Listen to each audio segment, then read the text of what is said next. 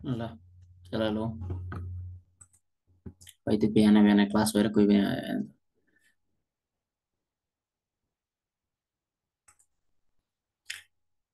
ल ठिक छ ल जतिजना छौ बाँकी रहेछ भयो रेकर्डेड लेक्चर हेर ठिक छ ल लास्टमा हामीले कहाँसम्म पढाएको थियौँ यहाँसम्म ल क्वेसन नम्बर नाइनको मैले हुन त एन्सर भनिदिएको थिएँ ठिक छ यो एन्सर भनिदिएको थिएँ ल सुनेछौ नि जतिजना छौ सुनिरहेछौ ल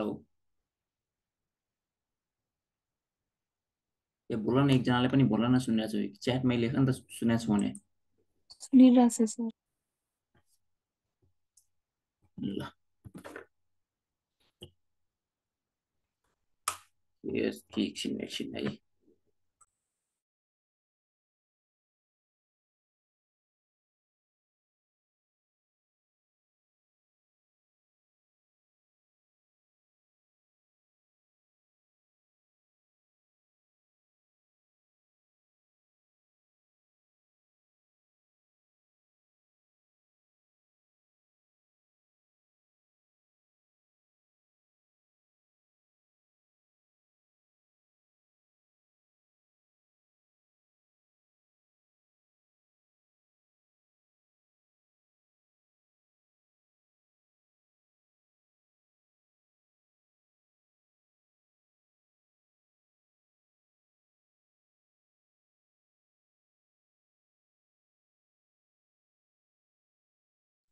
के हो यसको एन्सर भन त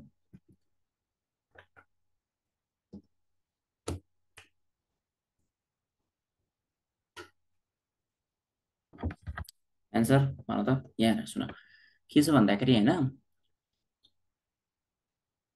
यहाँ हन्ड्रेड प्राइमरी उसाइड्स फर्म भन्ने छ होइन कस्तो हुन्छ भन्दाखेरि यो तिमीहरूको उजिनेसिसको क्वेसन हो है एक्चुली उजिनेसिसको क्वेसन हो तैपनि यहाँनिर सेल डिभिजनमा आएर मैले भनिदिइरहेको छु र के छ भन्दाखेरि यहाँनिर हेर टु एन जसरी हुन्छ नि यो टु एन यो टु एन सेल हुन्छ होइन यो टु एन सेल हुन्छ यो टु एन सेलबाट के भन्छ भन्दाखेरि तिमीहरूलाई यसरी डिभाइड हुन्छ ठिक छ? यसरी डिभाइड हुन्छ। यो टु एन सेलबाट के भन्छ यो उगोनिया हुन्छ के भन्छ यसमा? यो उगोनिया हुन्छ यो उगोनियाबाट के बन्ने भन्दाखेरि प्राइमरी उसाइड बन्ने। यहाँबाट चाहिँ प्राइमरी उसाइड भन्छ। त्यो माइटोसिसबाट नै बन्ने हो हुन त डिफ्रेन्ट प्राइमरी उसाइड्स भन्छ यसरी सपोज यो एउटा प्राइमरी उसाइड छ भने अब यो कुरालाई छोड्दै यतिलाई छोडौँ यो प्राइमरी उसाइड हो। यो के हो? यो हामीले चाहिने भनेको के हो भन्दाखेरि प्राइमरी उसाइड हो। यो प्राइमरी उसाइडबाट प्राइमरी उसाइड भन्छ ठिक छ? प्राइमरी उसाइड यो प्राइमरी उसाइड चाहिँ के हुन्छ भन्दाखेरि बिस्तारै यो चाहिँ के भन्छ अगाडिकै हो के भन्छ ठ्याक्कै हुन्छ नि के भन्छ यो एरेस्टेड स्टेजमा हुन्छ नि फिमेलहरूमा एरेस्टेड स्टेजमा हुन्छ त्यतिखेर कुरा गरे। ठिक छ? अब यो प्राइमरी उसाइडबाट यहाँदेखि चाहिँ म भन्छु। प्राइमरी उसाइडबाट के भन्छ भन्दाखेरि एन सेल र अर्को भनेको एउटा एन सेल भन्छ। यो दुइटा सेल भन्छ ठिक छ? अनि यो भनेको के हुन्छ भन्दाखेरि यसलाई भन्छ पोलार बडी। यसलाई के भन्छ? Polar body. ठिक छ? यसलाई भन्छ पोलार बडी। सो म म डाइरेक्ट के भन्छु भन्दाखेरि प्राइमरी उसाइडदेखि नै देखाउँछु। ल मैले मेटेँ सबै यहाँ मैले प्राइमरी उसाइडदेखि देखाउन खोजिरहेको छु क्या? यहाँ यो प्राइमरी उसाइड हो। प्राइमरी उसाइडबाट के भन्छ भन्दाखेरि तिमीहरूको भन्छ एउटा यो भनेको एन सेल हो सरी। यो एन भन्छ अर्को भनेको के भन्छ भन्दाखेरि अर्को पनि एन नै भन्छ ठिक छ? ल यो भन्छ पोलार बडी यसलाई के भन्छ भन्दाखेरि पोलार बडी भन्छ। यसलाई के भन्छ? Polar body. अर्को त्यसपछि के हो? यो यो भनेको यो भनेको प्राइमरी उसाइडबाट मैले देखाइरहेको छु है। प्राइमरी उसाइड किनभने क्वेसन प्राइमरी उसाइड र सेकेन्डरी उसाइडबाट नै सोध्ने हो। प्राइमरी उसाइड हो यो तलको सेकेन्डरी उसाइड हो ठिक छ? यसबाट पनि के भन्छ भन्दाखेरि यसबाट पनि भन्ने भनेको यसबाट बन्ने भनेको पनि के हुन्छ? यसरी भन्छ। यो भनेको पोलार बडी हो। यो पनि के हो? पोलार बडी हो। ठिक छ? ल। सो यो सुरुमा आउने भएकोले यसलाई भन्छ फर्स्ट पोलार बडी लास्ट सेकेन्डमा आउने भएकोलाई के भन्छ? Second polar body. ठिक छ? ल। सेकेन्ड पोलार बडी भनेपछि यहाँनिर के हुने भयो? यहाँनिर हुने भयो भनेको मियोसिस वान मियोसिस वान हुन्छ यहाँनिर मियोसिस टू हुन्छ। मियोसिस टू हुन्छ। भनेपछि कतिवटा सेल टु एनबाट एउटा एन यो एन यो एन एन भनेपछि चारवटा आयो नि। कतिवटा चारवटा आयो।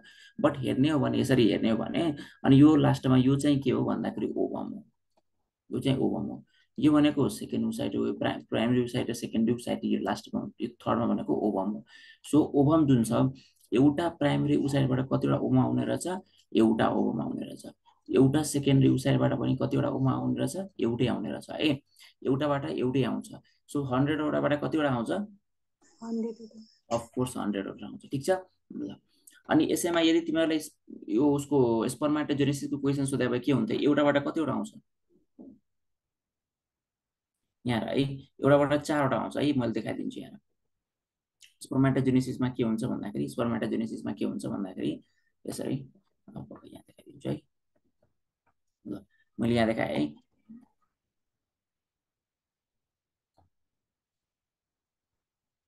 त्यो उजेनेसिस भने स्पर्माटोजेनेसिसमा के हुन्छ भन्दाखेरि स्पर्माटोगोनिया हुन्छ यहाँबाट स्पर्माटोगोनिया हुन्छ।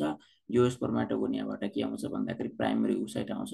यो प्राइमरी उसाइटबाट त्यसपछि के हुन्छ भन्दाखेरि एन अनि एन सेल निस्किन्छ। यो एन भनेपछि ह्याप्लोइड यो भनेको सेकेन्ड्री स्पर्माटोसाइट हो। ठिक छ? सो यो भनेको तिमीहरूलाई थाहा हुन्छ तरै पनि लेख्छ स्पर्माटोगोनिया स्पर्माटो यो भनेको गोनिया हो अनि यो भनेको प्राइमरी स्पर्माटोसाइट हो। प्राइमरी स्पर्माटोसाइट होइन? अनि यो भनेको सेकेन्ड्री स्पर्माटोसाइट हो। स्पर्माटोसाइट हो होइन? सेकेन्ड्री स्पर्माटोसाइट अनि यो सेकेन्ड्री स्पर्माटोसाइटबाट अब के हुन्छ भन्दाखेरि यसरी दुईवटा दुईवटा से क्यान्सर बन्छ। दुईवटा दुईवटा सेल भन्छ यसरी। बुझ्यौ? यो एन भयो यो एन भयो यो पनि एन भनेपछि के यो मियोसिस हो कि माइटोसिसबाट भन्ने हो? यो सुरुको चाहिँ कुन प्रोसेस भयो? ठ्याक्कै टु एनबाट एउटा निस्केको चाहिँ म्युसिस फर्स्ट हो। यो पुरै प्रोसेस याद हुनुपर्छ। यो पुरै प्रोसेस याद हुनुपर्छ तिमीहरूलाई। ठिक छ? किनभने सजिलो पनि छ त्यस्तो गाह्रो पनि छैन बट ट्याकेट टु स्पर्माटोगोनियाबाट प्राइमरी स्पर्माटोसाइड त्यसपछि सेकेन्ड्री स्पर्माटोसाइड अनि त्यसपछि यो म्युसिस फर्स्ट सेकेन्डबाट चारवटा सेल भन्यो अब यो भनेको तिम्रो के हुन्छ? यो सबै सेल सेल केबाट जान्छ भन्दाखेरि डिडिफ्रेन्सिएसन हुन्छ।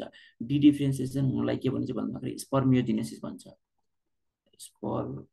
स्पर्मियोजेनेसिस। मतलब स्पर्मियोजेनेसिस यो भनेको डिडिफ्रेन्सिएसन हुने हो। किनभने यो सबैलाई के भन्छ भन्दाखेरि स्पर्माटिड्स भन्छ। स्पर्माटिड्स। भन्छ। ठिक छ? स्पर्माटिड्स। स्पर्माटिड्स र स्पममा के फरक छ भन्ने कुरा हेर। त्यसपछि भन्ने भनेको तिमीहरूको यसो स्पमहरू भन्ने हो। ठिक छ? ल सो यो भनेको त्यसपछि यो भनेको के हो भन्दाखेरि स्पम स्पर्माटो जो स्पर्माटो जो अथवा यसैलाई हामीले स्पम्टिल्स भन्छौँ। ल यति कुरा चाहिँ बुझिराख है। ल मैले के भने भन्दाखेरि स्पर्माटोकोनियाबाट टुएन हुन्छ यसबाट भनेको यहाँ फेरि माइटोसिस हुन्छ है। किनभने स्पर स्पर्माबाट पनि दुइटा बन्छ। सो स्पर्माटोकोनियाबाट प्राइमेरी स्पर्माटोसाइड बन्छ प्राइमेरी स्पर्माटोसाइड यहाँ माइटोसिस भएर बन्छ है मैले माइटोसिस भनेर लेखेँ। ल यहाँ माइटोसिस भएर बन्छ माइट्रोसिस भएर भन्छ प्राइमेरी स्पर्मेटोसाइट सेकेन्डरी अनि त्यसपछि सो तिमीहरूले के भन्ने यदि क्वेसन तिमीहरूलाई होइन हन्ड्रेड प्राइमेरी स्पर्मेटोसाइटबाट हन्ड्रेड प्राइमेरी हन्ड्रेड प्राइमेरी स्पर्मेटोसाइटबाट कतिवटा बन्छ भन्दाखेरि फोर हन्ड्रेड स्पम भनेर लेख होइन। हन्ड्रेड प्राइमेरी स्पर्मेटोसाइटबाट कतिवटा सेकेन्डरी स्पर्मेटोसाइट बन्छ भनेर लेख्छौ कतिवटा भन्छौ? हन्ड्रेड प्राइमेरी स्पर्मेटोसाइटबाट हो यो हन्ड्रेड प्राइमेरी स्पर्मेटोसाइट छ नि यसबाट कतिवटा सेकेन्ड्री स्पर्मेटोसाइट बन्छ? Two hundred. एउटाबाट टु हन्ड्रेड भन्ने हो बुझ्यौ? यो एउटाबाट टु हन्ड्रेड भन्ने हो। एउटा हन्ड्रेड प्राइमेरी स्पर्मेटोसाइटबाट दुईवटा किनभने एउटाबाट दुईवटा बन्छ भनेपछि सयबाट दुई सय भन्ने भयो। अनि सेकेन्ड्री स्पर्मेटोसाइट हन्ड्रेडवटा छ भने कतिवटा के भन्छ भन्छ यो? यो हन्ड्रेडवटा छ भने टु हन्ड्रेडवटा भन्छ ठिक छ? सो प्राइमेरीबाट यदि सेकेन्ड्री सोध्यो भने पनि डबल डबल काउन्ट गर्ने। अनि सेकेन्ड्रीबाट पनि यदि स्पर्माटिड्सहरू अथवा स्पर्माटोजुवा सोध्यो भने डबल काउन्ट गर्ने तर प्राइमेरीबाट एकैचोटि स्पर्माटिड्स अथवा स्पर्माटोजुवा सोध्यो भने एकैचोटि फोर टाइम्स काउन्ट गर्ने। ठिक छ? ल सो मैले जस्तै भन्नु पर्दा मैले भन्नु पर्दा र मैले भन्नु पर्दा यदि तिमीलाई भन्नु पऱ्यो भने यसो क्या? जस्तै हन्ड्रेड प्राइमरी है यहाँ यहाँ के भनेको छ भन्दाखेरि हन्ड्रेड सेकेन्ड्री स्पर्माटोसाइड सेकेन्ड्री स्पर्माटोसाइटबाट कतिवटा स्पर्मेटिड्स अथवा स्पर्मेटो जो आउँछ भन्दाखेरि हन्ड्रेडबाट टु हन्ड्रेडवटा आउँछ। यो यसबाट टु हन्ड्रेडवटा आउँछ यो सबै ठिक छ? अनि त्यसै गरी तर स्पर्मेटिडबाट भन्नु भन्नु भन्नुपर्दा स्पर्मेटिडको डिफ्रेन्सिएसनबाट डी डिफ्रेन्सिएसन अथवा डिफ्रेन्सिएसनबाट कतिवटा स्पर्मेटो जो स्पर्म सेल एक्चुअलीमा आउँछ। सो जतिवटा हुन्छ यो यो जतिवटा छ यहाँ तल पनि त्यतिवटा नै आउने भयो ठिक छ? यो आउने सो यसकोबाट सोध्यो भने डाइरेक्ट यो अथवा यो सोध्यो भने के टाइम्स गर्ने फोर टाइम्सले मल्टिप्लाई गर्ने। अनि प्राइमरी स्पर्मेटोसाइट सो यदि हन्ड्रेड प्राइमरी स्पर्मेटोसाइटबाट आयो भने फोर हन्ड्रेड स्पर्म आउँछ। प्राइमरी स्पर्मेटोसाइटबाट हन्ड्रेड सेकेन्ड्री स्पर्मेटोसाइटबाट गऱ्यो भने टु हन्ड्रेड स्पर्म आउँछ ठिक छ? ल स्पर्मेटिड जस्तो छ त्यति नै आउने। किनभने स्पर्मेटिडमै डिफ्रेन्सिएसन भएर यो बन्ने हो ठिक छ? ल अब हेरौँ। यो यो यो अगाडिको क्वेसन थियो अलिकति यसलाई मिलेर एक रिभाइज मात्र गराइदिएको ठिक छ? ल। अब सुन माथि यहाँ सुन। मेटाफेज आयो ल। कुन रे? यसको भन त। मेटाफेज आयो मेटाफेज फर्स्ट ल। During which phase chromatids are clearly seen भनेको छ ल।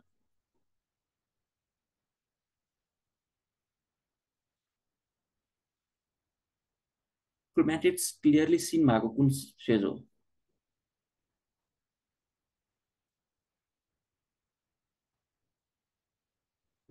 क्रोमेटिड्स भने बुझ्छौ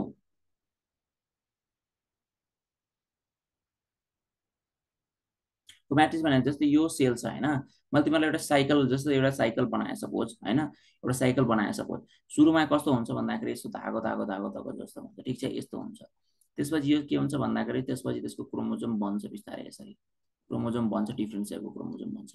ठिक छ? क्रोमोजोम डिफ्रेन्ट सेपको बन्छ। यो भनेको तिम्रो इन्टरफेज भयो। यो भनेको इन्टरफेज भयो। यो भनेको तिमीहरूको प्रोफेज हुन्छ। प्रोफेज हुन्छ। अब हेर अब यो त्यसपछि के हुन्छ भन्दाखेरि प्रोफेज हुन्छ। अब प्रोफेजबाट त्यसपछि मेटाफेजमा जाँदाखेरि यसरी तिमीहरूको के हुन्छ भन्दाखेरि एरेन्ज भएर बस्छ। यसरी एरेन्ज भएर बस्छ। ठिक छ? मेटाफेज तर अनि त्यसपछि अर्को भनेको मेटाफेज यो भएर बस्छ होइन? त्यसपछि अर्को भनेको के हुन्छ? अर्को त्यसपछि यो उता जान थाल्छ। यसरी यसरी स्पिन्डल फाइबर फर्म हुन्छ अनि यसरी यो स्पिन्डल फाइबर फर्म हुन नदिने एउटा के भन्छ कम्पाउन्ड छ त्यसको नाम कोल्चिसिन भन्छ बुझ्यौ? कोल्चिसिनले स्पिन्डल फाइबर फर्म हुन दिँदैन। यदि तिमीलाई क्वेसन सोधै स्पिन्डल फाइबर बन्दाखेरि कुन सेलमा रोकिदिन्छ भन्दाखेरि यो यो मेटाफेजमै रोकिदिन्छ। किनभने मेटाफेजमा जब स्पिन्डल फाइबर नै फर्म हुँदैन तिमीहरूलाई स्पिन्डल फाइबर फर्म नभइसकेपछि यो एनाफेजमा जान सक्दैन। बुझ्यौ? सो एनाफेजमा नजाँदाखेरि कहाँनिर रोकिन्छ अरे ब्लक हुन्छ मेटाफेजमै ब्लक भएर बस्छ। ठिक छ? सो यो एनाफेज भयो। यो भनेको तिमीहरूको एनाफेज बिस्तारै उता जान थाल्यो। त्यसपछि टेलोफेजमा तिमीहरूको थाहा छ। टेलोफेजमा यसरी गएर फेरि यो फेरि त्यस्तै भएर बस्छ। यस्तो हुन्छ। यस्तो हुन्छ। अनि फेरि यो के भन्छ यो माइटोसिस हो भने ठिक छ। मियोसिस हो भने फेरि फेरि यो फेरि के हुन्छ? फेरि त्यस्तै भएर एउटा सेललाई मैले लिएँ है एउटा सेललाई लिएँ फेरि त्यस्तै भएर बस्छ। सुरुमा जस्तो हुन्छ त्यसै अनि फेरि त्यसपछि प्रोफेज स्टार्ट हुन्छ मेटाफेज एनाफेज यिनीहरू स्टार्ट हुन्छ। बुझ्यौ? सो यसमा तिमीहरूले मलाई एउटा भन त मोस्ट प्रोभाबली तिमीहरूले यो हुन त तिमीहरू तिमीले यो मेटाफेज फर्स्ट भनेको कहाँ एन्सर पाएको थियो नानी भन त? मलाई त एकजनाले भन्दै थियो फोर्टिन त कति थोरै भएको भन त एकजनाले भन्दै थियो हजुर सर मेटाफेज फर्स्ट भनेर कहाँ एन्सर पाएको थियो भन त खै सर क्वेसनहरू पढ्दाखेरि भेटा जस्तै लाग्छ ए ल ठिकै छ केही छैन सुन तर यहाँ मैले भने अनुसार चाहिँ के भन्छु भन्दाखेरि यहाँ सुन के हुन्छ भन्दाखेरि यो तिमीहरूको यहाँनिर हेर मलाई एउटा कुरा भन क्रोमाटिड्स भनेर यो जुन यो पार्ट छ नि यो यो यो पार्ट यो पार्ट त एकदमै प्रपर भिजिबल भनेको यो पार्ट छुटिसकेपछि हुन्छ के हुँदैन भन त हुन्छ। हुन्छ। एकदमै सबभन्दा बढी भिजिबल कहाँनिर हुने भयो त्यसमा भन त? किनभने यो पार्ट एकदमै छुट्टेको छ। यो पार्ट के छ भन्दाखेरि एकदमै छुट्टेको छ। यहाँ सँगसँगै छ। यहाँ अलिकति क्रोमेट्रिसले यहाँ हुन त क्रोमोजम राम्रोसँग देखिने भनेको मेटाफेजिस्टिसमा हो होइन? बट मैले भेटे अनुसार मैले जुन एन्सर भन्छु त्यो अनुसार मैले एनाफेस सेकेन्ड भन्छु। ठिक छ? मैले के भन्छु रे? एनाफेस सेकेन्ड ठिक छ? ल। यसमा चाहिँ एनाफेस सेकेन्डमा तिमीहरूको के हुन्छ भन्दाखेरि यसरी यो जुन छ नि यो के भन्छ यो मियोसिसको कुरा गरेँ मैले फेरि यो किनभने मियोसिसमा यस्तो हुन्छ चाहिँ के भन्छ होमोलोगस क्रोमोजोम्स भयो होइन? अनि यसबाट छुटिने भनेको यो सुरुमा यो छुट्टै छुटिने भनेको यो एनाफेस फर्स्टमा हुन्छ। अनि एनाफेस सेकेन्डमा गएर के हुन्छ भन्दाखेरि यसरी छुटिन्छ क्या यो। एउटा यो क्रोमेटिस नै काट हट्छ क्या यो क्रोमेटिस भनेको यो यो जुन सेन्ट्रोमेयर छ नि सेन्ट्रोमेयर डिभाइड हुने हो। सेन्ट्रोमेयर डिभाइड हुने भनेको एनाफेस सेकेन्डमा हो त्यतिखेर क्रोमेटिस पनि छुटिन्छ। ठिक छ? त्यो क्वेसन पनि आउँछ अहिले यहाँ chromatids in a chromosome at metaphase भने कति होला? मेटाफेजमा क्रोमेटिस कति हुन्छ? मियोसिस र माइटोसिसमा यसमा पनि एउटा कुरा बुझ है एउटा कुरा बुझ एउटा होमोलोगस क्रोमोजोमकै बारेमा बाइभ्यालेन्ट टेट्राभ्यालेन्सकै कुरा गऱ्यो भने त फरक कुरो हो होइन? तर त्यस्तो कुरा गरेको छैन भने बाइभ्यालेन्स एन्ड टेट्राभ्यालेन्सको कुरा गरेको छैन भने के हुन्छ थाहा छ? त्यो कुरा गरेको छैन भने ल म भन्छु है। यहाँ सुन के हुन्छ भन्दाखेरि यहाँ तिमीहरूलाई होइन यो मैले पछाडिको क्वेसन मैले पछाडि जुन देखाएको छु के भन्छ बनाउँछु ल यहाँ तिमीले यहाँ के देख्यो भन्दाखेरि म आफै यहाँ बनाइदिन्छु। मियोसिसमा कतिवटा हुन्छ माइटोसिसमा कतिवटा हुन्छ भनेपछि यहाँ यो भनेको तिमीहरूको के हुन्छ भन्दाखेरि यो भनेको प्रोफेज भयो होइन? प्रोफेज अनि प्रोफेज सरी इन्टरफेस भयो। के कुन फेजबाट इन्टरफेस भयो इन्टरफेसबाट तिमीहरूको प्रोफेजमा आउँदाखेरि यसरी के भन्छ भन्दाखेरि यसरी क्रोमोजोम्सहरू हुन्छ। यो क्रोमोजोम्सहरूको के हुन्छ भन्दाखेरि पेरिङ हुन्छ अथवा पेरिङ छ भने मैले मियोसिस बनाइदिएँ है। मियोसिस सपोज पेरिङ हुन्छ। पेरिङ बनाइसकेपछि मैले के गरेँ भन्दाखेरि तिमीहरूलाई यहाँनिर के गरेँ भन्दाखेरि मेटाफेजको बनाइदिएँ। सो मेटाफेजको बनाउँदाखेरि यसमा दुईवटा दुईवटा आउँछ। दुईवटा दुईवटा आउँछ नि। यो दुईवटा दुईवटा त्यसपछि के हुन्छ? छुटिँदाखेरि के हुन्छ? छुटिँदाखेरि यो ठ्याक्कै हाफ उता जान्छ अनि हाफ यता आउँछ। सो मैले यसरी मात्र बुझ्नको लागि बनाइरहेको छु। भनेपछि होल क्रोमोजोम आउने भयो। यो तिमीहरूको मियोसिसको कुरा गर्दाखेरि। मैले मियोसिसको कुरा गरिरहेको छु है मियोसिसको माइटोसिसको अगाडि भनेको छु नि त। होल क्रोमोजोम नै माथि जाने भयो। सो होल क्रोमोजोम जुन माथि जान्छ अब यसमा के हुने भयो? एउटा सेलमा भनेको यसरी हुने भयो दुइटा अर्को सेलमा पनि यसरी दुइटा हुने भयो। तर यो यो दुइटा माथि यो चाहिँ गएको है। यो यो चाहिँ अनि यो चाहिँ। यो चाहिँ दुइटा गएको माथि। ठिक छ? ल। अनि यति भइसकेपछि फेरि यसबाट सपोज डिभिजन भयो भने यसबाट डिभिजन हुँदाखेरि यस्तो हुन्छ अब। दुइटा सेल छ भने फेरि दुइटा सेलमा के हुने हुने भयो भने अब दुइटा सेलमा के हुने भयो यसरी दुइटा सेल हुन्छ। त्यसपछि फेरि दुइटा सेल के भन्छ बिचमा आउँछ बिचमा आउँछ अनि बिचमा आइसकेपछि फेरि माथि के हुन्छ भन्दाखेरि अब यसको के हुन्छ हाफ टुक्रिने हो यसरी। यसरी हाफ टुक्रिने हो। यो भनेको के हुन्छ भन्दाखेरि सेन्ट्रोमेयर डिभाइड भएको हो। सेन्ट्रोमेयर चाहिँ के भएको भन्दाखेरि ब्रेकडाउन भएको अथवा सेन्ट्रोमेयरको डिभिजन भएको हो अनि क्रोमेटिक्सहरू छुट्टिन्छ। हो यो भनेको तिमीहरूको एनाफेस सेकेन्ड हो?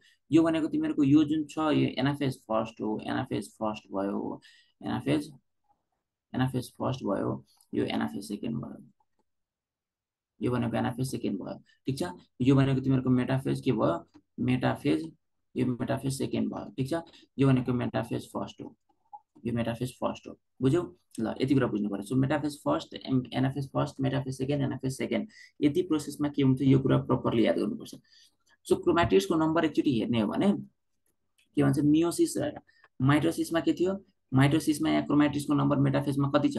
एउटा क्रोमोजोम यो छ भने यो योमा कतिवटा छ? दुइटा छ कि छैन? एउटा र अर्को दुइटा दुइटा छ कि छैन? छ। यो भनेको दुइटा क्रोमाटिक्स छ। केमा? तिमीहरूको माइटोसिसमा अनि यहाँनिर। यहाँनिर हेर्दाखेरि माइटोसिसमा त्यस्तो छ। अनि मियोसिसमा पनि एकचोटि हेर्ने हो भने मियोसिसमा पनि हेर्ने भने मेटाफेजमा कतिवटा क्रोमाटिक्स देख्छौँ? मेटाफेजमा कतिवटा कुनै कुनै बुकले हेर मैले भन्छु एउटा कुनै कुनै बुकले फरक एन्सर दिन सक्ला होइन? त्यो के को आधारमा हो भन्ने कुरा। कसैले बाई भ्यालेन्सलाई कन्सिडर गर्ने हो भने त्यो फरक एन्सर दिन्छ। कसैले के भन्छ भन्दाखेरि म्युसिसमा फोर अनि माइट्रोसिसमा टू मात्र भन्छ बट म्युसिसमा फोर हुन्छ भन्दाखेरि। यो होमोलोगस क्रोमोजोम्स भनेपछि मैले एउटा क्रोमोजोमलाई काउन्ट काउन्ट गरेँ अब। होमोलोगस भनेको दुइटालाई काउन्ट गरेँ होइन? त्यही भएर एउटालाई मात्रै काउन्ट गर्दा कति हुन्छ? दुई त्यसमा पनि दुइटा हुन्छ किनभने यहाँ त्यसमा कतिवटा छ? एउटा र दुइटा छ। एउटा अनि दुइटा छ। एउटा क्रोमोजोमलाई हेर्ने भने दुइटै छ। सो मियोसिस र माइटोसिस दुइटैमा के हुन्छ भन्दाखेरि दुइटा के हुन्छ भन्दाखेरि मियोसिस र माइटोसिस दुइटामा के हुन्छ? क्रोमाटिक्सहरू हुन्छ। ठिक छ? बुक अनुसार फरक पनि पर्न सक्छ। आफूले एकचोटि हेर है। सुन अब अर्को भनेको के छ भन्दाखेरि यो जुन छ नि मियोसिस र माइटोसिसमा दुइटैमा के हुन्छ? कतिवटा आउँछ क्रोमाटिस त्यति नै हुन्छ होइन त्यो? अनि यहाँ मतलब दुइटै दुइटै हुन्छ दुइटामा। किनभने यो क्रोमोजोम छ एउटा क्रोमाटिड अर्को क्रोमाटिड दुइटा क्रोमाटिड छ। अब यो तिम्रो मेटाफेजमा हुँदा त उस्तै हुन्छ नि मेटाफेजमा डिभिजन हुने होइन।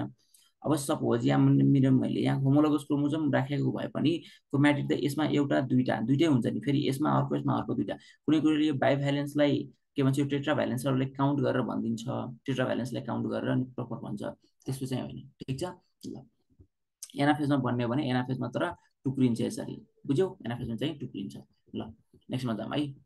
cell stops growing say due to shortage of nutrients. This would happen in कुनै स्टेजमा हुन्छ। स्टप यदि न्युट्रिन्स को सर्टेजले गर्दाखेरि के भन्छ ग्रो हुन कुन स्टेजमा बन्द गरिदिन्छ जस्तो लाग्छ फेजमा जीवन फेज ल एउटा एन्सर आयो।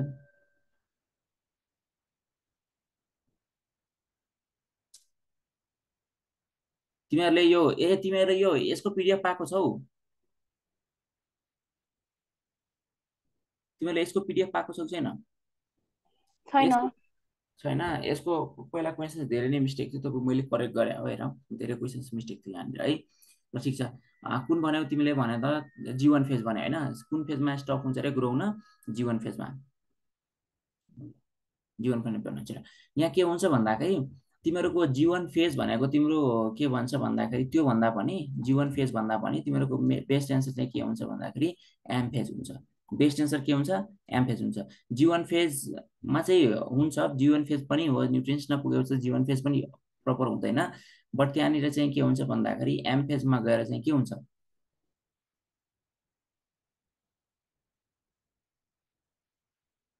भन भन। हो? नो यसको एन्सर जीवन फेज नै हो। किन भन्दाखेरि एम फेजसम्म किन पुग्दैन भन्दाखेरि तिमीहरूले एउटा कुरा बुझ्नु पऱ्यो एम फेजसम्म नपुग्नुको कारण के हुन्छ? एम फेजमा गएर एस फेजमा गएर तिमीहरूको के हुन्छ? एस फेजमा र एम फेजमा गइसकेपछि सेल डिभाइड हुनैपर्छ किनभने एस फेज भनेको रिटर्न नहुने खालको फेज हो। यसमा तिम्रो डिएनए चाहिँ के हुन्छ भन्दाखेरि तिमीले भनेको राइट हुन्छ अरे मैले यतिकै भन्दै हो। डिएनए त्यसपछि के हुन्छ भन्दाखेरि डिएनए डिएनए रेप्लिकेट हुन्छ। डिएनए रेप्लिकेट भइसकेपछि त्यो सेल डिभाइड हुनैपर्छ र डिएनए रेप्लिकेट भइसकेपछि त्यो सेल डिभाइड हुनैपर्छ यो कुरा याद राख है। तिम्रो एउटा क्वेसन के सोध्छ भन्दाखेरि के भन्छ cell division can not be stop in which phase of the cell cycle भन्यो भने cell division can not be stop in in which cell of के which stage of cell cycle भन्यो भने के हुन्छ एस फेज जब डिएनएको number suppose यहाँ के हुन्छ भन्दाखेरि डिएनएको नम्बर अमाउन्ट यहाँ डिएनए हुन्छ अनि यहाँ चाहिँ के हुन्छ टु टाइम्स इन्टु डिएनए हुन्छ। यो यस्तो भइसकेपछि सेल डिभाइड हुनै पर्छ। भएन भने म्युटेसन भएको हो ठिक छ? यो भएन भने। भएन भने बिग्रियो हो क्या त्यसपछि। किनभने त्यसपछि यसले बिगारिहाल्छ कुराहरू बुझ्यौ? सो त्यसपछि डिएस फेज अनि एम फेज यो दुइटामा भइ गइसकेपछि सेल डिभाइड हुनैपर्छ। सो तिमीहरूको सर्टेज अफ न्युट्रिन्स छ भने यही जीवन फेजमै के हुन्छ भन्दाखेरि रोकिन्छ। जीवन फेजमै के भएर बस्छ रोकेर बसिन्छ सो यसको एन्सर के हो? G one phase is the right answer ठिक छ? ल तिमीले भनेको राइट हो। यहाँ भनेपछि तिमीले के बुझ्नु पर्यो? सेल नरोकिने भनेको कहाँनिर हो? सेल नरोकिने भनेको जीवनमा हो। जीवनमा जीवन सरी जी एस फेजमा। यो एस फेजमा गइसकेपछि सेल के भन्छ एस फेजमा पुगिसकेपछि डिभाइड हुनैपर्छ। एस फेज पछि सेल डिभाइड हुनैपर्छ र जीवन फेजमा के हुन्छ कुनै कुराले गर्दाखेरि सेल डिभिजन रोक्नु पर्यो भने कहाँनिर रोकिन्छ अरे जीवन स्टेजमै रोकिन्छ। ठिक छ?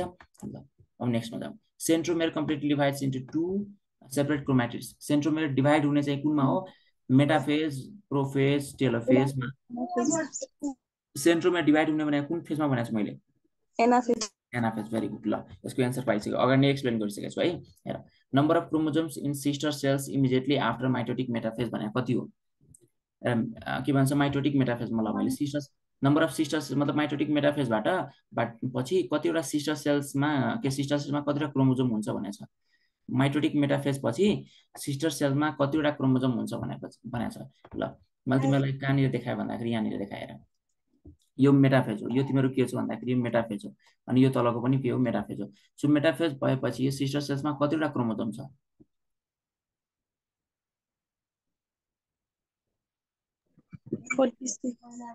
जस्ताको त्यतै छ नि। डिभाइड भएको छ। तेलो तेलो एनाफेज पछि भने भए फरक पर्थ्यो। एनाफेज पछि यदि मियोसिसमा भनेको छ भने हाफ हुन्छ अनि त्यसपछि माइटोसिसमा भनेको छ भने फेरि सेम हुन्छ। ठिक छ? डिभाइड हुने भनेको कहाँनिर हो? डिभाइड हुने भनेको तिमीहरूको यो उसमा हो। के भन्छ डिभाइ माइटोसिसमा चाहिँ के भन्छ मेटाफेजमा चाहिँ कुनै पनि डिभाइड हुँदैन डिभिजन हुँदैन। मेटाफेजमा डिभिजन हुँदैन मेटाफेजमा अलाइनमेन्ट मात्र हुने सेन्टरमा इक्वेटरमा आएर बस्ने मात्र हो। ठिक छ? सेन्टरमा इक्वेटरमा बस्ने मात्र हो। सो यसले गर्दा कुनै पनि चेन्ज आउँदैन। यसले गर्दा मतलब यो क्रोमोजोम नम्बरमा चेन्ज आउँदैन। माइटोसिस भने छ भने त झन आउँदैन।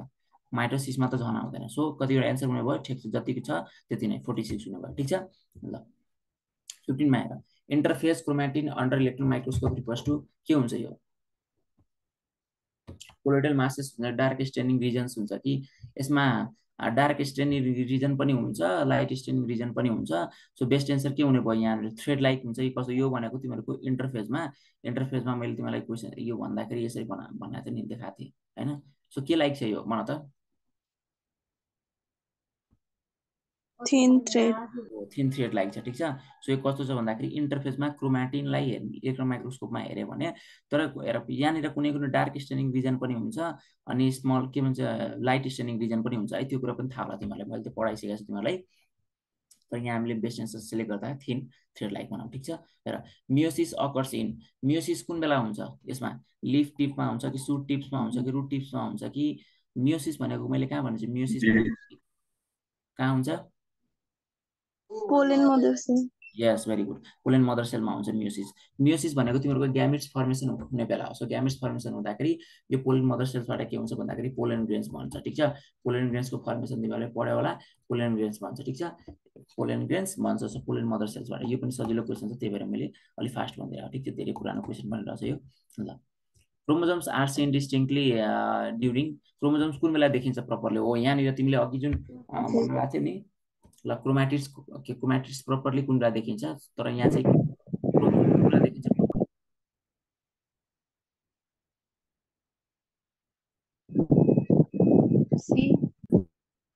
मेटाफेज यस मेटाफेज स्टेज क्रोमोजोम एकदम प्रपरली डिस्टिङ भएको कुन फेजमा हुन्छ? मेटाफेज स्टेज पढ्दै आएको कुरा हो त्यही भएर यसलाई यसलाई पनि अलिकति भनिदियो अस्ति पनि पढायो होला सायद क्रोम नो न्युक्लियसको म्याक्सिमम साइज भनेर पढाएको थियो होइन? क्रोमोजोम्स कसो क्रोमोजोम्स प्रपरली भिजिबल कुनमा हुन्छ अरे मेटाफेजमा हुन्छ। ठिक छ? ल। कोल्चिसिन ब्लक्स विच फेज भनेको थिएँ मैले ल। कोल्चिसिनले कुन फेज फेज ब्लक गर्छ? मेटाफेज यस मेटाफेज किनभने यो जुन हेर यो सुरुमा सपोज यो तिमीहरूलाई यहाँनिर यहाँनिर छ भने यहाँनिरबाट तिमीलाई के बन्नुपर्छ भन्दाखेरि यसो टुक्रिँदाखेरि सपोज यसो भन्नुपर्छ नि मैले ल यहाँ पनि चारवटा भनिदिएँ यसरी यसरी यो यो स्पिन्डल फाइबर बन्नुपर्छ होइन। यो स्पिन्डल फाइबर भइसकेपछि बल्ल यो चाहिँ के हुन्छ भन्दाखेरि आधा सेल माथि चाहिँ दुइटा यो दुइटा जान्छ अनि आधा तलको सेलमा चाहिँ के हुन्छ यो दुइटा आउँछ। भनेपछि यो स्पिन्डल फाइबर बन्नको बन्नको लागि यो क्लो कोल्चिसिनले के गरिदिन्छ? बन्न दिँदैन। बन्न नदिए भएपछि कुन फेजमा ब्लक भएर बस्छ? यही फेजमा अनि यहाँनिर यो पनि बन्नु पऱ्यो नि त हेर। यो पनि बन्नु पऱ्यो नि। सो यो यो जुन बन्ने हुन्छ नि यो बिचमा जुन इक्वेटर बनाउँदाखेरि यो बन्नु हुन्छ नि एउटा अलाइनमेन्टमा त्यो पनि कसले गरिदिन्छ भन्दा कोल्चिसिनले कोल्चिसिनले मेनली चाहिँ के गरिदिन्छ? कोल्चिसिनको काम चाहिँ के हो? मेनली कोल्चिसिनले भन्छ। यसलाई माइटोटिक पोइजन पनि भन्छ है।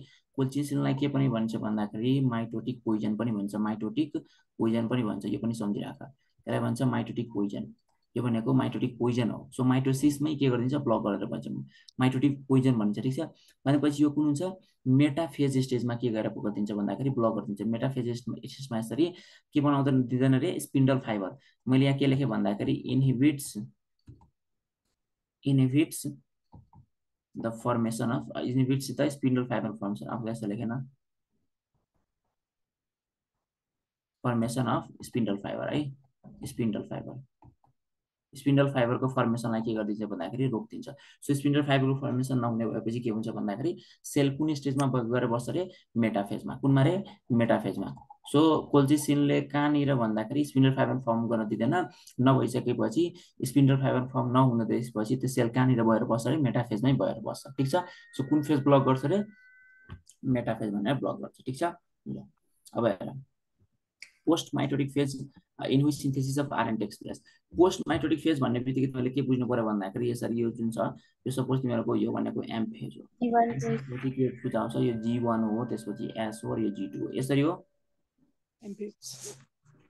हो? आरएनए आरएनए को सिन्थेसिस कहाँनिर हुन्छ भने? आरएनए को। नो त्यो एस फेजमा तिमीहरूको डिएनएको सिन्थेसिस हुन्छ होइन? डिएनएको सिन्थेसिस हुन्छ यो कुरा तिमीलाई थाहा छ। S S S S no फेरि जी टू भन्दा चाहिँ त्योभन्दा अगाडि नै ठ्याक्कै post mitotic post mitotic phase भन्ने बित्तिकै तिमीहरूको यो आरएनए र प्रोटिनको फर्मेसन यही आरएनएको पनि र प्रोटिनको फर्मेसन पनि यही हुन्छ। किनभने एउटा कुरा भनौँ न आरएनए प्रोटिन किनभने एस फेजमा चाहिने डिएनएको लागि मेटेरियल्सहरू जे चाहिन्छ त्यसको लागि अगाडि नै के भन्छ आरएनए र तिमीहरूको के बनिसक्नु पर्ने हुन्छ अरे। आरएनए बनिसकेको हुनुपर्छ अनि अर्को भनेको किन डिफ्रेन्ट कामको लागि हुनसक्छ। अर्को भनेको प्रोटिन पनि फर्मेसन हुन्छ। र आरएनए र प्रोटिन दुइटै चाहिँ जीवन फेजमा हुन्छ। यो भनेको आरएनए एन्ड प्रोटिन। दुइटै के हुन्छ भन्दाखेरि जीवन फेजमा हुन्छ है। सो यसको एन्सर हुने भयो कुन फेज रे?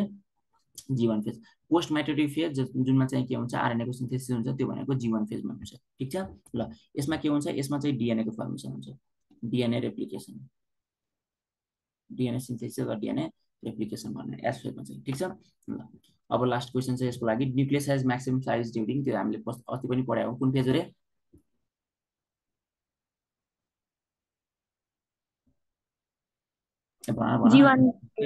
इन्टरफेज डिएनए के अरे न्युक्लियसको म्याक्सिमम साइज हुन्छ इन्टरफेज ल भइहाल्यो। ठिक छ ल छोडा। ल यति कुरा चाहिँ यो हाम्रो सेल डिभिजनबाट हो। यति केबाट हो अरे? सेल डिभिजनबाट हो। अब मैले चाहिँ अस्ति त जेनेटिक्सको क्वेसन पनि गराएको थिएँ तर अस्ति गराएको भन्दा अलिकति फरक फरक क्वेसन छ भने म त्यो चाहिँ गराउँछु ठिक छ? ल। यहाँ। अब यो त सक्यो होइन अब जेनेटिक्सको स्टार्ट गर्नु। जेनेटिक्सको पनि हुन त पाएको त भएको छ त्यही पनि केही छैन। ल सुन। आज अलिकति यो ल। जेनेटिक्सको स्टार्ट गरेँ है। ल तिमीहरूको जेनेटिक्सको त क्वेसन नै धेरै भएको छ है। पहिला पनि धेरै क्वेसन गरायो। आरएनएमा चाहिँ के हुन्छ भन्दाखेरि आरएनएमा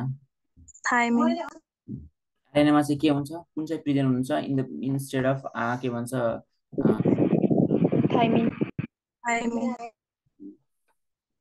के को सट्टामा हुन्छ युरासिल र? आरएनएमा यस थाइमिन हुन्छ। ठिक छ। र अनि थायामाइन भनेको भयो? ठिक छ यो भाइटामिन हो है यो यो चाहिँ के हो? भाइटामिन हो तिमीहरूको। ठिक छ भाइटामिन हो। कुरा याद राखिराख्नु सो थाइमिन चाहिँ के हुन्छ? आरएनएमा in RNA uracil is present instead of thymine ठिक छ आरएनएमा डिएनएमा चाहिँ के हुन्छ भन्दाखेरि थाइमिन हुन्छ र आरएनएमा युरासिल हुन्छ। ल मेन्डल्स डाइहाइब्रिड क्रस रेसियो भनेको के हो? मेन्डल्सको डाइहाइब्रिड क्रस रेसियो भनेको कुन भयो? हेर। मेन्डेलको चाहिँ के हुन्छ भन्दाखेरि मोनोहाइब्रिड यो भनेको डाइहाइब्रिड डाइहाइब्रिड ठिक छ? ल यसको फिनोटाइपिक रेसियो के हो? फिनोटाइपिक फिनोटाइपिक अनि यो भनेको मैले जिनोटाइपिक लेखेँ है जिनोटाइपिक ल फिनोटाइपिक रेसियो के हो? वान टू वान ठिक छ? जिनोटाइपिक रेसियो भनेको थ्री वान हो। ठिक छ? ओके? यस्तो हो। औ गडबड भयो फिनोटाइप चाहिँ अगाडि भयो सरी। मिस्टेक गरिदियो। यहाँ। जिनोटाइप चाहिँ वान टू वान हुन्छ। यहाँ सुन सो फिनोटाइप भनेको थ्री अनि वान हुन्छ। अनि जिनोटाइप भनेको के हुन्छ भन्दाखेरि वान टू अनि वान हुन्छ। ठिक छ? ल यसको फिनोटाइप यसको फिनोटाइप हेर्ने भने नाइन थ्री थ्री अनि वान हुन्छ। अर्को यसको भनेको वान टू मैले तिमीहरू पहिला पनि भनेको थिएँ अर्डर तिमीहरूको कुन अनुसार राखेको छ के भन्छ के कसरी डिफाइन गरेर छ त्यो अनुसारले फरक पर्छ है। यो राखे पनि हुन्छ तिमीहरूले जुन राखेछौ त्यो राखे पनि हुन्छ बट नम्बर अफ जुन वान छ टू छ फोर छ त्यो सेम हुनु पऱ्यो। चार एकचोटि आउनु पऱ्यो दुई चारचोटि आउनु पऱ्यो वान पनि चारचोटि आउनु पऱ्यो त्यसरी चाहिँ राख्नु जानु पऱ्यो है ल सो मोनोहाइब्रिड क्रसमा चाहिँ के छ भन्दाखेरि के छ डाइहाइब्रिड क्रसको डाइहाइब्रिड क्रसको रेसियो कुन छ? यो हो डाइहाइब्रिड क्रसको रेसियो यो भनेको dihybrid cross so nine three three one अथवा यो दुइटा कुनमा छ र यसमा छ। So this is right answer ठिक छ? मोनोहाइब्रिड भने भयो के हुन्थ्यो? कि त थ्री वान हुन्थ्यो कि त वान टू वान हुन्थ्यो ठिक छ? ल। So answer nine three one भयो अब हेर total sum of genes in a population एउटा पपुलेसनमा total total sum of gene एउटा पपुलेसनलाई के भन्छ हामीले हेर हेर यो भनेको जिन पुल भनेको भन्दाखेरि टोटल सम अफ यो भनेको सेम कुरा भयो total sum of genes in a population genome भनेको ह्याप्लोइड सेट अफ क्रोमोजोम हुन्छ जिनोम भनेको yes very good very good genome gene pool बनाएको छौ जिन पुल बनाए होइन तिमीले भेरी गुड ल हेर जिनोम भनेको के हो भन्दाखेरि ह्याप्लोइड सेट अफ क्रोमोजोम हो। जिनोम भन्ने बित्तिकै यो तिमीहरूको भन्यो भने haploid set of chromosome haploid set of chromosome भन्यो भने जिनोम हो। यो क्वेसन पनि आउँछ है क्रोमोजोम्स तिमीलाई एउटा पपुलेसनमै टोटल सम अफ जिन्स भन्यो भने के भन्यो अरे? एउटा इच सेलको कुरा गरे ह्याप्लोइड सेट अफ क्रोमोजोम एउटा सेलमा एउटा सेलमा है। बुझ्यौ बुझ्यौ कि नै in each cell in each cell of organism multicellular अर्गानिजममा haploid set of chromosomes छ भन्दाखेरि इन ग्यामिट भन्दा पनि हुन्छ इन ग्यामिट भन्दा पनि हुन्छ। अथवा के हुन्छ भन्दाखेरि इच सेलमा जुन सोमेटिक सेल्स जुन त्यसमा पनि। त्यो भयो भने त्यसलाई के भन्छ भन्दाखेरि त्यो भनेको जिनोम हो ठिक छ? जिनोम जिनोम भन्ने बित्तिकै haploid set of say chromosome हुनु पर्यो अथवा entire set of DNA found in the cell entire set of DNA यो भनेको केसमा ह्याप्लोइड सेट अफ क्रोमोजोम भन्ने बित्तिकै कतिवटा आउने भयो भन्दाखेरि यो के भन्छ तिमीहरूको जिनोम भनेपछि सपोज यहाँ फोर्टी सिक्सवटा क्रोमोजोम छ भने ह्याप्लोइड सेटमा कतिवटा आउने भयो त ट्वेन्टी थ्रीवटा आउनु भयो किन सो त्यो ट्वेन्टी थ्रीवटाले अरू बाँकी त्यसको डबल त हुन्छ नि। ट्वेन्टी थ्रीवटाले चाहिँ के गर्ने भयो तिमीहरूको ठ्याक्कै इन्टायर सेट अफ क्रोमोजोम हुने भयो अथवा के हुने छ ह्याप्लोइड सेट अफ क्रोमोजोम हुने भयो ठिक छ? हेर सिस्टोन भन्ने बित्तिकै के बुझ्छौ? सिस्टोन भनेको स्मलेस्ट सेगमेन्ट हुन्छ। यो भनेको smallest segment smallest functional set भन्छौ। स्मलेस्ट फङ्सनल सेगमेन्ट भन्छौ। बुझ्यौ? ल। यो भनेको स्मलेस्ट सेग स्मलेस्ट के भयो भन्दाखेरि part of part of gene smallest past part of gene भयो जसले चाहिँ के गर्छ भन्दाखेरि कोड्स फर पोलिपेप्टाइड पोलिपेप्टाइड मतलब पोलिपेप्टाइड भन्दा कोडिङ भनेपछि यससँग कोडिङ हुन्छ। यो कोडले के गर्छ भन्दाखेरि के भन्छ तिमीहरूको प्रोटिन सिन्थेसिसको काम गर्छ। सो प्रोटिन रिकनले चाहिँ के गर्ने भन्दाखेरि smallest part of gene that goes under the recombination ठिक छ? ल युनिट अफ रिकम्बिनेसन भन्छ यसलाई। युनिट अफ रिकम्बिनेसन अथवा crossing over recombination so crossing over गराउने भनेको कुन? रिकनले गराउने भयो। म्युटनले के गराउँछ? म्युटन भनेको म्युटेसनमा जाने हो। स्मलेस्ट पार्ट अफ अथवा डिएनए स्मलेस्ट जिन भनौँ अथवा त्यसलाई के त्यसले के गर्छ भन्दाखेरि म्युटेसन सो म्युटेसन गराउने छ भने यो म्युटन भयो रिकनले चाहिँ रिकम्बिनेसन गराउँछ। बुझ्यौ? अन्त स्मलेस्ट पार्ट अफ डिएनए भनौँ हामीले स्मलेस्ट पार्ट अफ अथवा स्मलेस्ट सेगमेन्ट अफ डिएनए जसले चाहिँ म्युटेसनमा जान्छ। त्यो म्युटन भयो जो चाहिँ रिकम्बिनेसन गराउँछ त्यो रिकन भयो जो चाहिँ एकदम जो चाहिँ हाम्रो फङ्स यो चाहिँ हामीले यो हामीले चाहिने भनेको एकदम मोस्ट फ्रिक्वेन्टली युज हुनेको सिस्टोन हो। सिस्टोनले के गर्छ? प्रोटिन सिन्थेसिस गर्छ। सो म्याक्सिमम् जुन जिन्स छ त्यसमा सिस्टोन पार्ट चाहिँ के हुन्छ भन्दाखेरि धेरै हुन्छ। ठिक छ? ल यस तिमीले जिन भन्ने बित्तिकै सिस्टोन भन्ने बित्तिकै एउटा कुरा बुझा पनि हुन्छ। यसमा मलाई पार्ट अफ जिन भनेको छ नि त्यो फङ्सनल काम गर्छ नि त्यो फङ्सनल सो सिस्टोन भनेको तिमीले नर्मल जिन जुन हुन्छ फङ्सनिङ त्यही जिन हो। सुन त्यसो भए तिमीले के एन्सर गर्नु पऱ्यो यसमा? यसमा total sum of gene population भन्ने बित्तिकै तिमीहरूको जिन पुल भयो। ठिक छ? यो यो क्वेसन यो क्वेसन अनि यो क्वेसन यो तिनवटा चाहिँ कुरा अहिले आउँछ है। यो अहिले आउँछ त्यही भएर यहाँ भन्दा so two adjacent nitrogen bases in DNA molecular are located at the distance of भनेको छ भनेपछि तिमीहरूले यो के अरे यसरी सपोज मैले यसरी बनाएँ होइन यसरी बनाएँ। यो भनेको तिम्रो एटी भयो सपोज होइन अनि जिसी सपोज यस्तो छ। ठिक छ? यस्तो छ।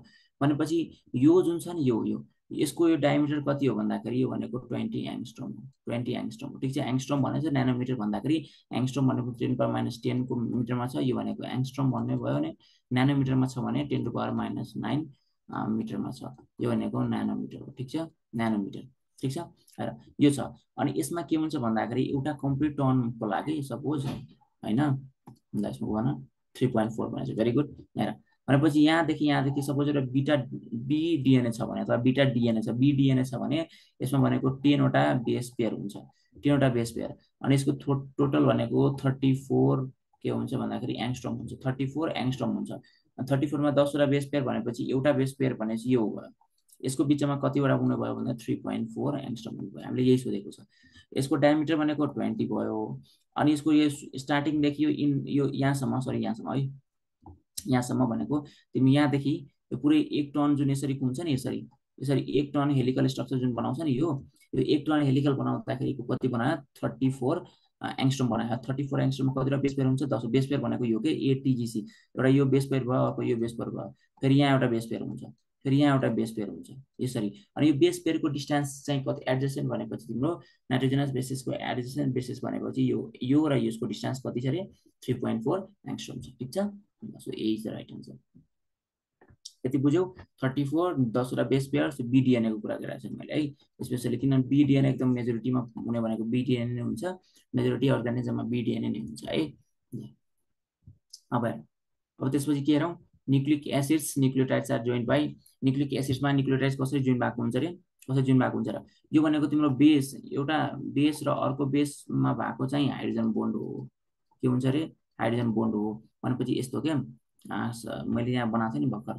यसरी न यसरी गरौँ न के गरौँ भन्दाखेरि यो तिमीहरूको एउटा सपोज यो ए छ अनि यो चाहिँ के छ भन्दाखेरि यो भनेको टी छ ठिक छ ए र टी छ अनि यसमा तिमीहरूको के हुने भयो भन्दाखेरि यसरी सुगर हुने भयो यसमा के हुने भयो अरे यसरी सुगर हुने भयो सुगरमा त्यसपछि कुन ग्रुप हुन्छ फस्फेट ग्रुप हुन्छ ठिक छ यसमा पनि के हुन्छ भन्दा फस्फेट ग्रुप जोडिन्छ फस्फेट ग्रुप हुन्छ अनि यो फस्फेट ग्रुपलाई फेरि यहाँ एउटा सुगर हुन्छ यसरी फेरि एउटा सुगर हुन्छ अनि यसमा फेरि एउटा बेस हुन्छ अनि त्यो फेरि बेससँग अर्को पनि एउटा बेस हुन्छ यहाँनिर। अनि यहाँ पनि सेम कुरा हुन्छ ठिक छ? सो यहाँनिर के देख्छौ भन्दाखेरि यो सुगर र सुगरको बिचमा सरी के भन्छ बेस र बेसको बिचमा चाहिँ के हुने भयो? तिमीहरूको हाइड्रोजन बोन्ड हुन्छ मैले भनेको छु होइन? हाइड्रोजन बोन्ड हुन्छ यहाँनिर। हाइड्रोजन बोन्ड सो यो भनेको के हो? हाइड्रोजन बोन्ड भयो। ए र टीको डबल हुन्छ र जी र सी सपोज यहाँ जी र सी छ भने यहाँ ट्रिपल बोन्ड हुन्छ। ठिक छ? ट्रिपल बोन्ड हुन्छ। सो यो भनेको तिमीहरूको हाइड्रोजन बोन्ड हुन्छ। यहाँ पनि हाइड्रोजन बोन्ड हुनु भयो। सो बेसेसको बिचमा हाइड्रोजन बोन्ड हुन्छ। यो कुरा बुझिराख। र अर्को भनेको ग्लाइकोसाइडिक बोन्ड भनेको तिमी बेस र सुगरको बिचमा हुन्छ। यो बेस र सुगरको बिचमा के हुन्छ भन्दाखेरि ग्लाइकोसाइडिक? यो ग्लाइकोसाइडिक बोन्ड भनेको के को बिचमा हुन्छ अरे? यो बेस र यो सुगरको। यो भनेको सुगर हो तिम्रो यो भनेको बेस हो। सुगर र बेसको बिचमा कुन हुने भयो यो भनेको ग्लाइकोसाइडिक बोन्ड हुन्छ ठिक छ? यतिखेर बुझिरहेको छौ? फस्फोडाइस्टर बोन्ड कहाँ हुने भयो? फस्फोडाइस्टर बोन्ड भनेको तिमीहरूको यहाँनिर हुने भयो ठिक छ? अथवा यो चाहिँ जुन छ नि यो यो भनेको कोभ्यालेन्ट बोन्ड हो फेरि है त? यसलाई हामीले के भन्छ भन्दाखेरि कोभ्यालेन्ट कोभ्यालेन्ट बोन्ड भन्छौँ ठिक छ? यो कोभ्यालेन्ट बोन्ड कहाँ प्रेजेन्ट हुन्छ? सुगर र फस्फेटको बिचमा प्रेजेन्ट हुन्छ ठिक छ? ल सो अनि यो न्युक्लियोटाइड्स एट जोइन्ट बाई भनेर के भन्छौ त्यसपछि?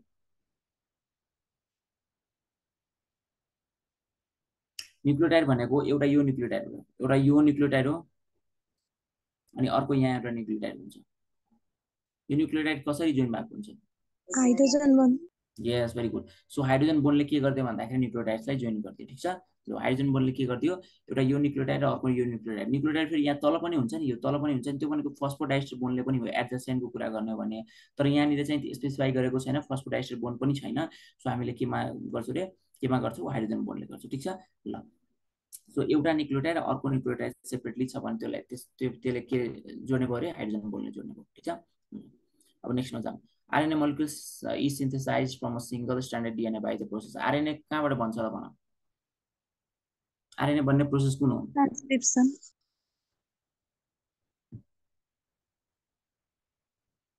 ट्रान्सक्रिप्सन ल। हेर। आरएनए मोलिकुल्स बन्ने भनेको आरएनए ट्रान्सक्रिप्सन भनेको यो भनेको तिम्रो कति के भयो भन्दाखेरि यो भनेको तिम्रो यो भनेको डिएनए भयो के भएको?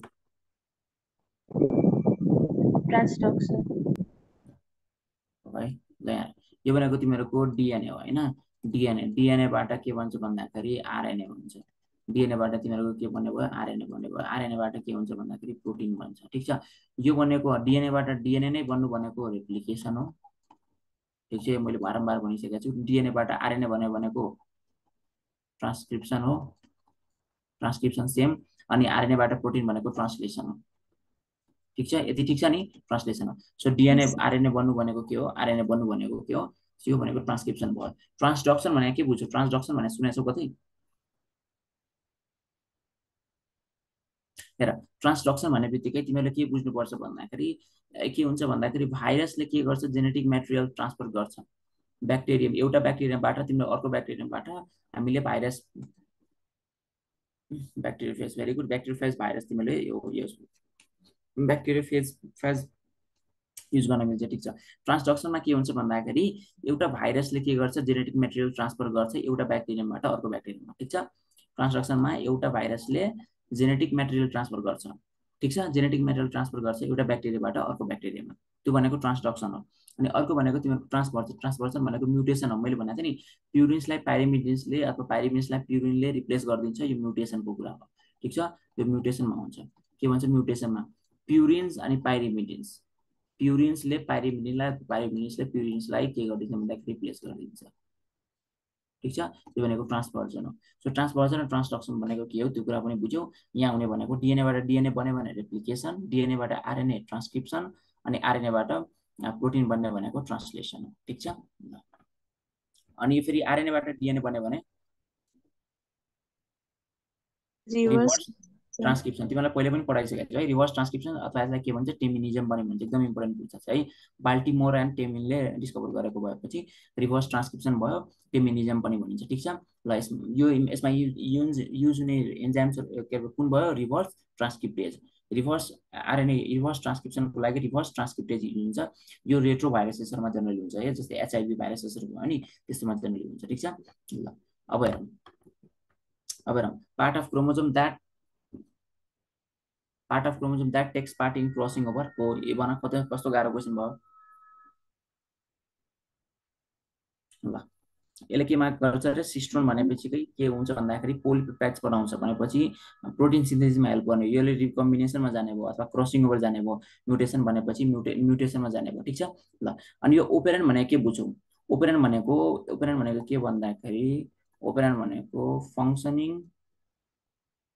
unit of DNA DNA containing हुन त ओपेरेन त ठिक छ यसो हेरिरहेको containing the cluster of genes. Containing cluster of genes. जस जुन चाहिँ के हुन्छ भन्दाखेरि, एउटै के हुन्छ भन्दाखेरि under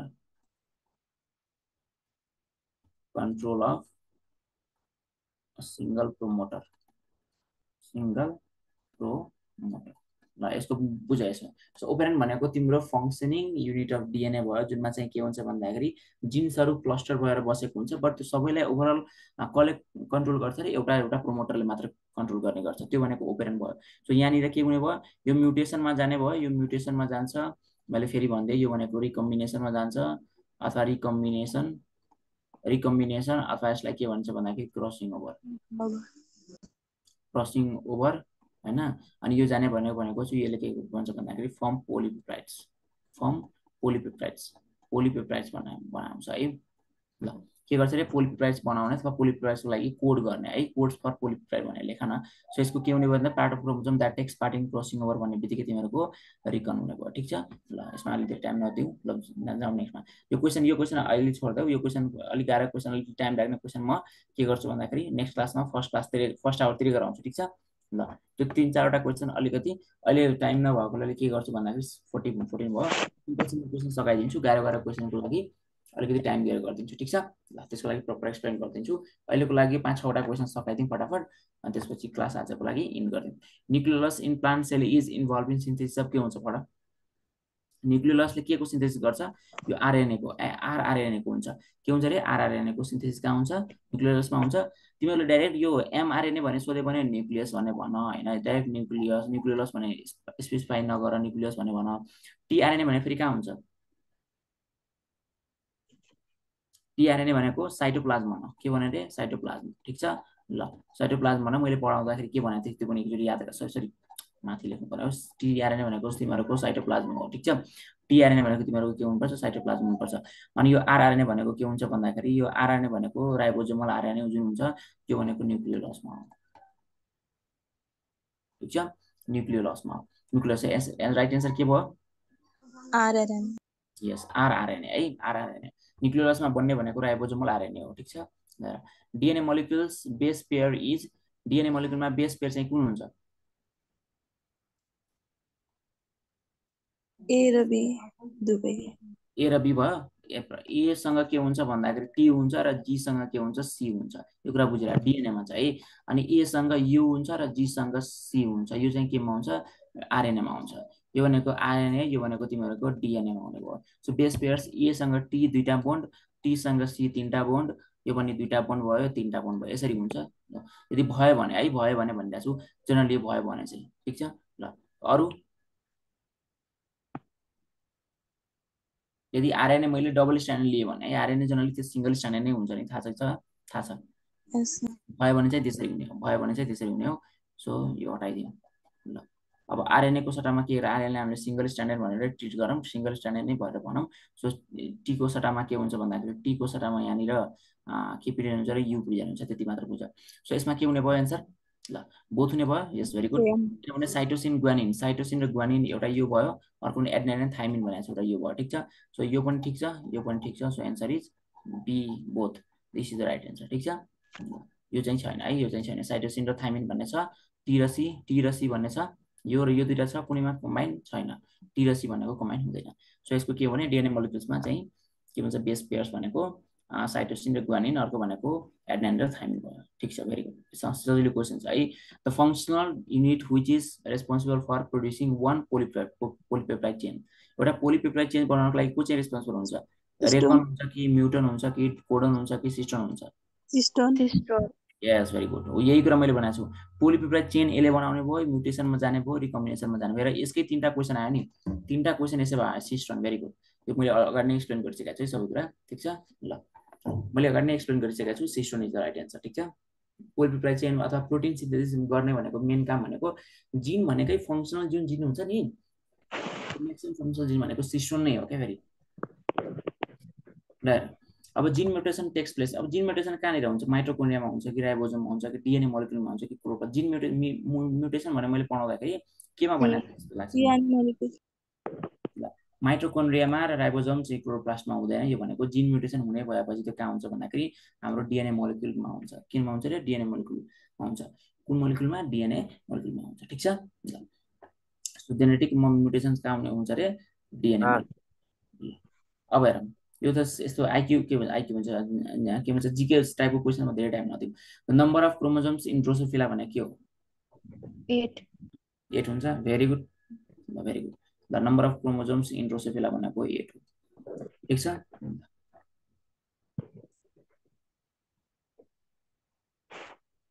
अब त्यसपछि तिमीहरूलाई ल। डिएनए हजुर। एट कसरी भयो सर? बुझेन मैले। तिमीहरू यो कसरी भयो? हाम्रोमा क्रोमोजोम्स कसरी कतिवटा हुन्छ? हाम्रोमा क्रोमोजोम्स कतिवटा हुन्छ? सेलमा फोर्टी सिक्सवटा हुन्छ? अथवा ट्वेन्टी थ्री पेयर्स हुन्छ? होइन बाई डिफल्ट हो यो। बाई डिफल्ट तिमीहरूको मोबाइल ल्याङ्ग्वेजमा भन्दाखेरि बाई डिफल्ट नै हो यो। अटोजोम्स नि हुन्छ नि यसमा के भन्दा अटोजोम्स नि हुन्छ भइहाल्छ नि अर्को भनेको यहाँ हेर सुन। अर्को सुन न। भनेपछि ड्रोसोफिलामा कतिवटा हुन्छ भन्दाखेरि यो तिमीहरूले ड्रोसोफिलामा कतिवटा हुन्छ हाम्रोमा ट्वेन्टी थ्री पेयर्स कसरी भयो? मैले बुझ तिमीले बुझ्छौ बुझेन कान्छ भन त कसरी सोधेको थियो नि। ट्वेन्टी थ्री पेयर्स हाम्रोमा कसरी हुन्छ त? फोर्टी सिक्सवटा कसरी हुन्छ? यो बुझेछौ? ए सर। कसरी हुन्छ? फोर्टी सिक्सवटा हाम्रो पहिल्यैदेखि नै फोर्टी सिक्सवटा हो कि होइन भन त। ए सर हो त्यसरी। ड्रोसोफिलामा पनि पहिल्यैदेखि नै के हुन्छ भन्दाखेरि क्रोमोजोम्स एउटा सेलमा आठवटा हुन्छ बुझ्यौ? तिमीले याद गर्नुपर्छ यो। तिमीले याद गर्नुपर्छ two n equals to two n equals to fourteen जसरी पढ्छौ two n equals to eight पढ्छौ नि यसरी याद गर्नुपर्छ ठिक छ? यसरी याद गर्नुपर्छ यो। ड्रोसोफिलामा पी प्लान्ट्सहरूमा यसरी याद गर्नुपर्छ। ल DNA molecule is made up of building blocker of के हो? डिएनए कुन बिल्डिङ ब्लकर हुन्छ? प्रोटिन्सले बनेको हुन्छ डिएनए मोलिक्युल्स कि न्युक्लियोटाइड्सले बनेको हुन्छ कि राइ डिअक्सिराइबोजले कि बेस भन भन। Deoxyribose building blocker of DNA केले बनेको हुन्छ? बिल्डिङ ब्लक भनेको के हो? डिअक्सिराइबोज भनेको सुगर मात्र भयो यो त सुगर हो। प्रोटीन हो। प्रोटिन ओके कसरी यो क्वेसन मिस्टेक गरिरहेको छौ तिमीहरूले त? बेस भनेको हेर यहाँ के हुन्छ भन्दाखेरि तिमीहरूको यो base plus sugar plus phosphate phosphate तिनटै मिलेर मिलेर के भन्छ भन्दाखेरि यो तिनटै मिलेर हामीले के भन्छौँ भन्दाखेरि यो तिनटैलाई हामीले के भन्छौँ? न्युक्लियोटाइड भन्छौँ होइन? अनि बेस र सुगर अथवा यो बेस र सुगर मात्र छ भने यो दुइटा छ भने न्युक्लियोसाइड भन्छौँ। यो त मैले धेरैचोटि पढाइसकेको त्यही पनि तिमीहरू मिस्टेक गरिरहेको छ त न्युक्लियोसाइड भन्छ। भनेपछि building block building block of DNA भनेको त न्युक्लियोटाइड छैन र भने? न्युक्लियोटाइड्स मिलेर बन्ने होइन बेस यहाँ आएर एउटा यो सुगर छ एउटा सुगर मात्र मिलेर त बनाउँदैन यो बेस छ सो सुगर अनि बेस सुगर र बेस दुइटै यसमा आउने भयो प्रोटिन्स त भइहाल्यो प्रोटिन्स त त्यसै बिल्डिङ ब्लक अफ डिएनए नै होइन मतलब डिएनए मात्र भनेर स्पेसिफाई गर्न मिल्दैन यसमा किनभने न्युक्लियोटाइड्स भन्ने बित्तिकै त्यो चाहिँ बिल्डिङ ब्लक अफ डिएनए नै हो भने चाहिँ स्पेसिफाई गर्न मिल्छ सो यसमा के हुने भयो भन्दाखेरि फर्स्टवेयर ग्रुप लागेको छ न्युक्लियोटाइड फर्स्टवेयर ग्रुप छैन भने न्युक्लियोसाइड भयो न्युक्लियोसाइड भनेको चाहिँ सुगर र बेस ठिक छ? यो बेस भनेको नाइट्रोजिनस बेस है नाइट्रोजिनस। Nitrogenous base. यो भनेको बेसिक नेचरको हुने भयो त्यसलाई बेस भनिन्छ ठिक छ? यो फर्स्ट भनेको एसिडिक नेचरको हुने भयो यहाँ अर्को त्यही भएर के हुन्छ भन्दाखेरि नाइट्रोजिनस यो भनेको बिल्डिङ ब्लकर अफ न्युक्लियोटाइड के अरे डिएनए भनेको कुन हुने भयो त्यसो भए? न्युक्लियोटाइड। न्युक्लियोटाइड्स भेरी गुड ल अब चाहिँ नबिर्सौ है अब चाहिँ नबिर्सौ तिमीहरू। Genetic information is carried by long chain molecule made up of polysaccharide polysaccharides genetic information तिमीहरू फेरि क्वेसन्स मात्र न्युक्लियोटाइड यस न्युक्लियोटाइड्स एमिनो एसिड्स भनेको तिमीहरूले के भन्छ genetic information is carried by long chain molecules made up of यो genetic information carry गर्ने चाहिँ कुनले हो एमिनो एसिड भनेको तिमीहरूको प्रोटिनमा आउने भयो सो प्रोटिन फेरि प्रोटिनमै भन्ने बित्तिकै तिमीहरूको हुन त यो यो के भन्छ एमिनो एसिड पनि त्यो एटिजिसिनहरू सबै मिलेरै बनाएको हुन्छ होइन होइन बट तिमीहरूले मेन चाहिँ भन्नुपर्दा genetic information carried by long chain molecule भनेपछि न्युक्लियोटाइड्स यसरी लङ चेन मोलिकुलसँग मिलेर बसेको हुन्छ नि याद छ? छ नि? सो न्युक्लियोटाइड्स नै हुने भयो। यहाँ अगाडि मैले जे भनेको छु त्यही कुरालाई यहाँ घुमाएर मात्र सोधेको छ त्यति हो यहाँ। बिपी बिपी क्यासेसमा भनेको छु त अलिकति क्वेसन त्यस्तै हुन्छ। सो लिपिड्स त हुने भयो जेनेटिक इन्फर्मेसनको कुरै हुने भएन पोलिसेक्राइड्स हुने भएन सो यो भनेको प्रोटिन रिलेटेड भयो सो यसलाई हामीले न नगरौँ। त्यो भएर मेन एन्सर चाहिँ के भयो भन्दाखेरि न्युक्लियोटाइड्स ठिक छ? ल। अब DNA cutting is possible due to डिएनएलाई काट्न चाहिँ पोसिबल छ केले गर्दाखेरि जस्तो लाग्छ मलाई डिएनए लाइगेज नो डिएनए लाइगेजले त नेचुरली डिएनए लाइगेज तिमी नेचुरली डिएनए लाइगेज भनेपछि तिमीहरूले हामीले डिएनएलाई काट्नु पऱ्यो क्या डिएनएलाई काट्नु पऱ्यो एकजनाले एन्सर लेखेर रेस्ट्रिक्सन अनि एकजना भन्यो पनि इन्डोन्युक्लियस हाम्रो डिएनए जुन डिएनए टेक्नोलोजी छ नि आर्ट के अरे रिकम्बिनेन्ट डिएनए टेक्नोलोजी यो आर डिएनए टेक्नोलोजी जुन छ आर डिएनए टेक्नोलोजी यो रिकम्बिनेन्ट डिएनए टेक्नोलोजी छ यो केले गर्दा पोसिबल चाहिँ थाहा छ? यो रेस्ट्रिक्सन इन्डोन्युक्लियसले गर्दा पोसिबल छ। यसलाई भन्छ मोलिकुलर सिजर्स पनि भनिन्छ। यसलाई के भनिन्छ अरे? मोलिकुलर सिजर्स पनि भनिन्छ। के भनिन्छ अरे? मोलिकुलर सिजर्स पनि भनिन्छ। मोलिकुलर सिजर्स सिजर्स भनेको सिजर्सको काम के हुन्छ? काट्ने हो नि। सिजर्सको काम के हुन्छ भन्दाखेरि ल।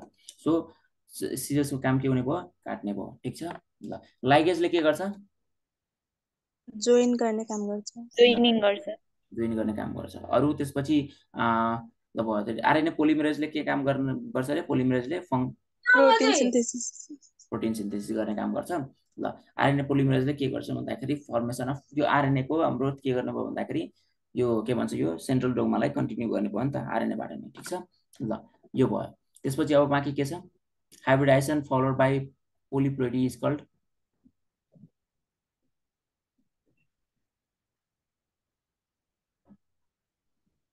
hybridization followed by polyploidy मैले पढाएको थिएँ यो कुरा एन्युप्लोइडी एलोप्लोइडी हो एन्युप्लोइडी ल भन भन फटाफट भन्न सक्दैन अरे आजको लागि यो चाहिँ के गरिदिउँ भन्दाखेरि लास्ट क्लास गरिदिउँ क्या आजको लागि? ल। Hybridisation followed by polyploidy is called के हो? भन त छिटो। एलो पोलिपोलाइडी हेलो पोलिप्लोइडी हो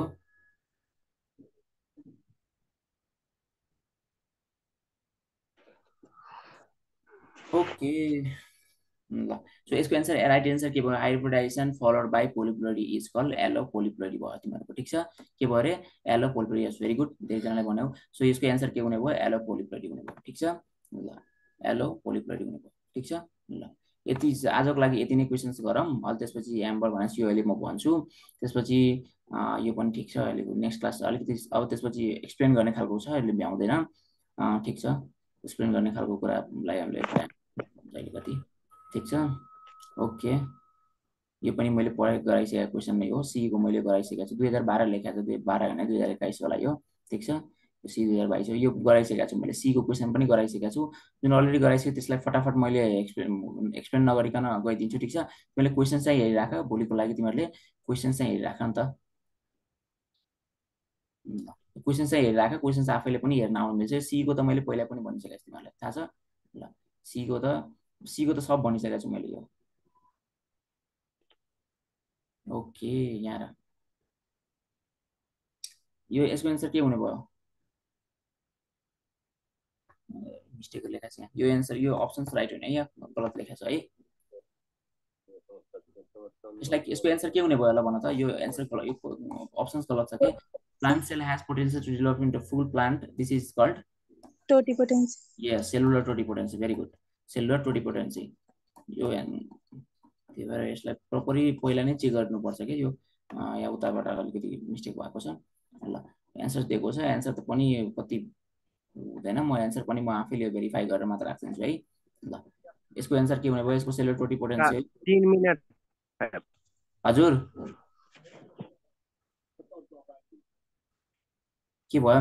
Genotype can be change by genotype कुनबाट change हुन्छ? डिएनए रेप्लिकेसनबाट चेन्ज गर्न मिल्छ कि एमआरएनए फर्मेसनबाट ट्रान्सक्रिप्सन कि आरडिएनए टेक्नोलोजीबाट मैले तिमीहरूलाई के भनेको थिएँ भन्दाखेरि तिमीलाई त्यहाँ अगाडि भनेको थिएँ याद छ?